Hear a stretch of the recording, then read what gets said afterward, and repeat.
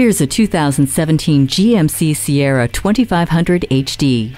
There are people that like trucks and people that need trucks. This Sierra was built for those that need a truck. A get dusty, haul anything, heavy duty pickup. The corner step rear bumper is built to accommodate your work boots and give you quick and easy access to the truck's bed. Since load size vary, the four heavy duty movable upper cargo box tie downs help lock it all in. The high strength steel construction makes for a quiet ride while you enjoy entertainment options from a USB port and auxiliary audio input. The ride is built to handle it all with an automatic locking rear differential and StabiliTrak with proactive roll control.